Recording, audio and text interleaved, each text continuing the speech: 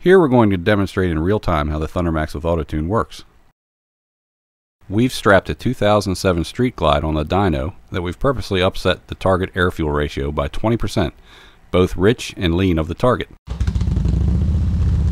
Instead of a nice linear line on the 2560 RPM page shown, you can see that the fuel flow is first rich, then lean as the throttle is applied to accelerate the motorcycle.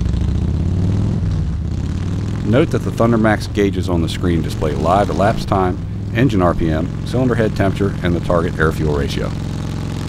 Two more gauges show the live air-fuel ratio in the front and rear exhaust pipes. The vertical line on the graph indicates the throttle position, or load being placed on the engine.